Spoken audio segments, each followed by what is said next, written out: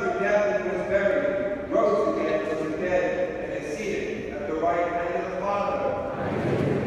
Do you believe the Holy Spirit, the Holy Catholic Church, the communion of saints, the forgiveness of sins, the resurrection of the body, and life everlasting?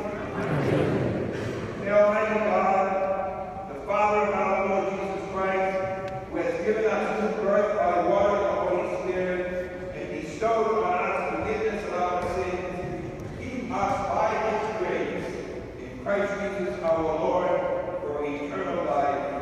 Amen. And so, Lord, we offer the sacrifice by which your church so wondrously be born and nourished through Christ our Lord. The Lord be with you. Conduct your heart. Let us give thanks to the Lord our God.